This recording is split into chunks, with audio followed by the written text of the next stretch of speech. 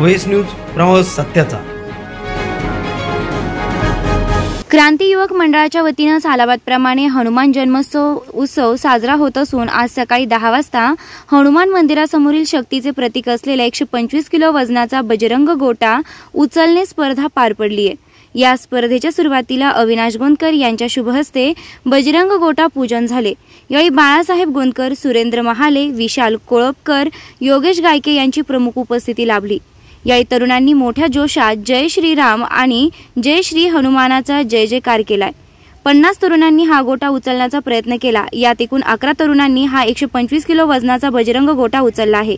यात मनोज मयूर सुरेश सुपेकर सूरज रोकडे सु- सुदर्शन वेर्णेकर राजू पांचाळ मॉन्टी ठाकूर सागर परदेशी हर्षल अभंग तसेच हिमाचल प्रदेशचे साईभक्त ठाकूर व गुजरातचे गांधी यांनी देखील गोटा उचलला.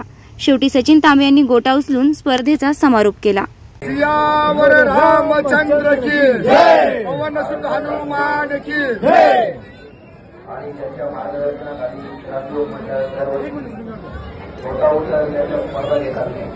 सियावर रामचंद्र की जय! पवन सुत हनुमान की की जय! बली की जय!